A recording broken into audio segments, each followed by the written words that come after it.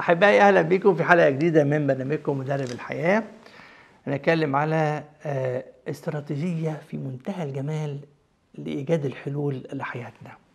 صحيح البرنامج بتاعنا مدته 3 4 دقائق لكن صدقوني لما نحط المعلومات في الفعل ممكن في 3 4 دقائق حياتك كلها تتغير. بس أرجوك حط المعلومات في الفعل.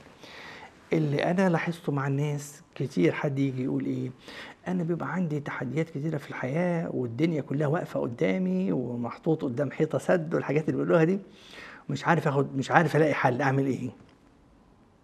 فأقول له بص عشان نلاقي حل لحياتنا لازم يبقى قدامنا مبدئين أساسيين.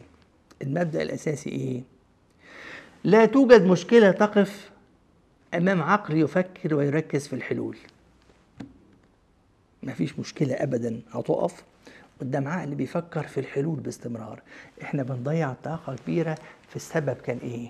وإزاي نعاقب اللي عمل السبب؟ وإحنا حذرناه قبل كده ونعيش فترة كبيرة جدا من تفكيرنا بس في الأسباب إيه؟ لا ركز في الحلول.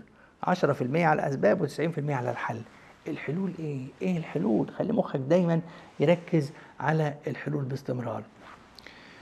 الكلام عن المشاكل يخلق مشاكل والكلام عن الحلول يخلق حلول. حاجة بسيطة لكن دي ممكن تغير حياتك كلها. فكر في الحل.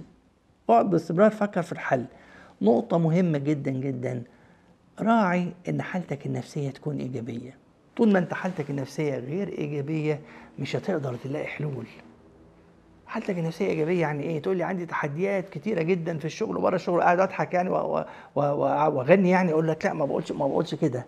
لكن حالة نفسية إيجابية ممكن حالة فيها الهدوء فيها السلام فيها الاستسلام فيها الإسلام لربنا فيها ال ال ال ال الوصول للحكمة فيها التأمل فيها حاجات كتيرة جدا في حالات نفسية كتيرة جدا تساعدك على الوصول للحلول. طول ما انت حالتك النفسية إيجابية وبتركز على الحلول باستمرار وبتتكلم على الحلول باستمرار قصة حياتك كلها تختلف.